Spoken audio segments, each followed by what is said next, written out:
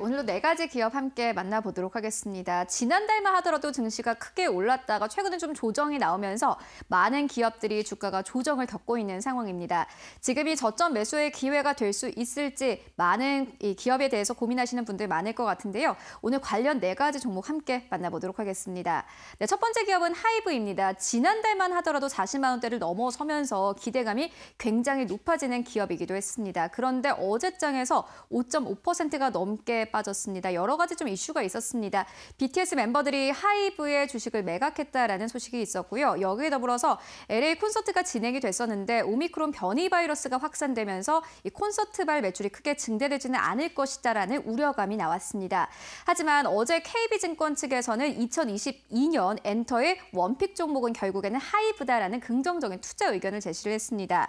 하이브가 F2E 생태계를 구축 중이다라는 이야기를 남겼는데요. 이 F2E는 fan to earn이라고 연예인을 좋아하면서 돈을 버는 것이다라면서 아주 긍정적인 투자 의견을 제시를 했습니다.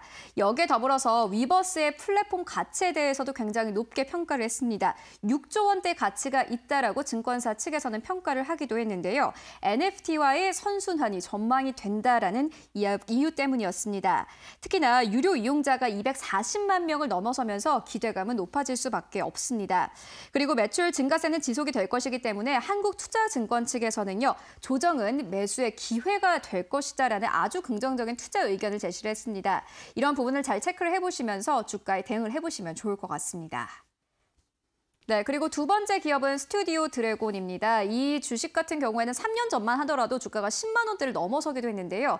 지금 현재 주가는 8만 6천 원대에서 머물고 있습니다. 아마 가지고 계신 분들이라면 참 답답하다라고 느끼실 수도 있을 것 같은데요. 하지만 긍정적인 전망이 어제 하나가 나왔습니다. 미디어 시장이 커지고 있음에도 불구하고 스튜디오 드래곤의 주가는 지지부진한데 내년에는 이 박스권을 뚫어낼 것이다라는 긍정적인 이야기가 나왔습니다.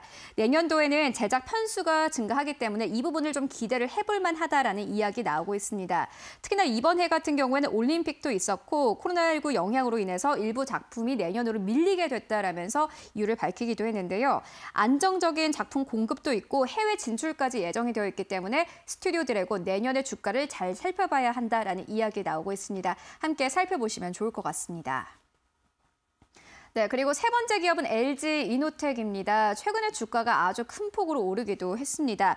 목표가를 잇따라서 증권사 측에서는 상향 조정하고 있는 상황인데요. 하지만 단기적인 이 주가가 가파른 상승에 따라서 피로감이 있을 것이다라는 투자 의견이 제시가 됐습니다.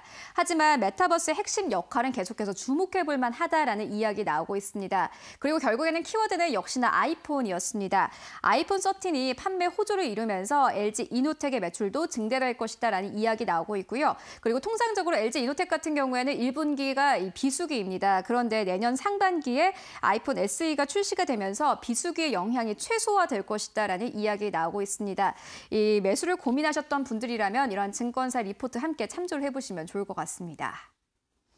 네, 그리고 마지막 기업은 SK입니다. SK 최태원 회장이 월스트리트 저널과의 인터뷰가 진행이 됐습니다. 여러 가지 이야기가 나왔는데요. 한국 언론사 측에서는 반도체 공장 설립에 대해서 보도를 하기도 했습니다. 미국의 반도체 공장 설립에 대한 기대감을 기자가 나타내니 이 최태원 회장이 계획은 없지만 전제 조건을 검토 중이다라고 밝혔습니다. 비용과 인력 등의 전제 조건을 검토 중이다라고 밝히기도 했는데요. 여기에 더불어서 펩 투자는 결국에 문제는 인 인력과 비용이 될 것이다라면서 포드와의 전기차 배터리 합작사의 설립에 대한 배경도 설명을 하고 나섰습니다. 관련해서 이 기대감이 이미 좀 나오고 있는 상황인데 계속해서 SK가 하고 있는 배터리 사업들 잘 체크해 보시면 좋을 것 같습니다.